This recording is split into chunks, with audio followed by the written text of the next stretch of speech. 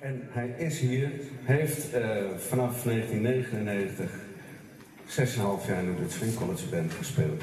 En kijk, nu hebben we geen piano, maar toch hebben we nu wel een piano. Dames en heren, de geweldige meneer Rob